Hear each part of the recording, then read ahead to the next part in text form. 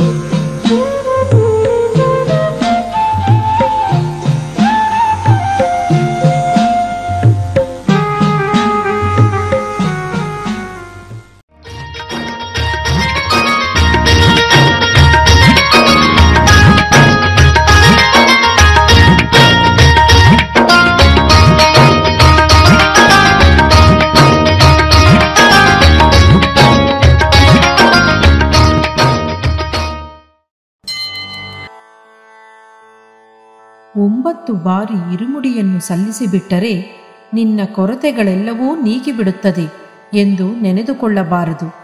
ಕೆಲವರಿಗೆ ಐದನೇ ಇರುಮುಡಿಯನ್ನು ಧರಿಸಿದಾಗಲೇ ಕರ್ಮ ನೀಗುತ್ತದೆ. ಕೆಲವರಿಗೆ ಹತ್ತು, ಹನ್ನೊಂದು ಎಂದು ಧರಿಸಿದರೂ ಸಹ ಕರ್ಮ ನೀಗುವುದಿಲ್ಲ.